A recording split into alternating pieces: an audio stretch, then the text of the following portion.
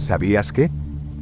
Se dice que este hombre cometió el error más grande de la historia, aunque obviamente no lo sabía.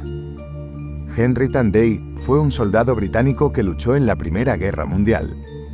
Una vez terminada la guerra, Tanday se convirtió en el soldado en recibir las más altas condecoraciones británicas, entre ellas la Cruz Victoria.